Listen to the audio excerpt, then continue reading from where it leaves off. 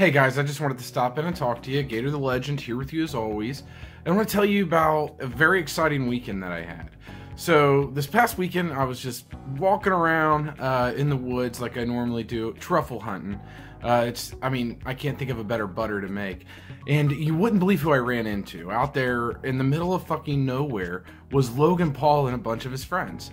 Anyways, we got into some shenanigans, had a pretty awesome weekend, and I'm currently getting ready, as you can tell, getting ready to hop in the, the shower there, because uh, I'm going out on a one on one date with Logan Paul himself this evening. Oh, hold on. That's, hey, that's him right there. That's him right there. He Skyped me. All right. I've made a severe and continuous lapse in my judgment, and I don't expect to be forgiven I'm simply here to apologize. Apologize? For what? Giving me the best night of my life? So, what we came across that day in the woods was obviously unplanned. I know, but that doesn't change the fact that for those few short hours, I didn't know where my body ended and your body began. Uh, none of us knew how to react or how to feel. I disagree completely. Everyone seemed to know exactly what they were doing. There's a lot of things I should have done differently, but I didn't. And for that, from the bottom of my heart, I am sorry. Look, man, if it's that big of a deal to you, fine.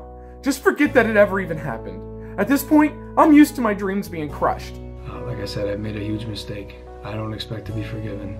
Hey, man, look, you did a hell of a job. You know, neither of us knew how hard the tequila was going to hit. You know, you can't predict that shit.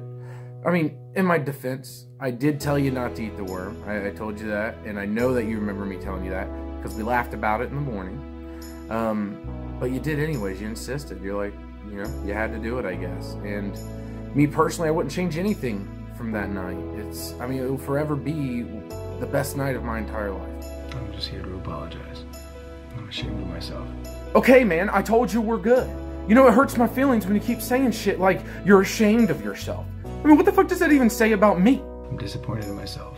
And I promise to be better. All right, whatever. I have to go, okay? This shit's bumming me out. Oh, what a dick. I eat shit on my tacos in front of small children. I make a mess and then I throw an unusual tantrum. Why can't I only fit two dicks in my ass? Am I mean yet? Am I mean yet?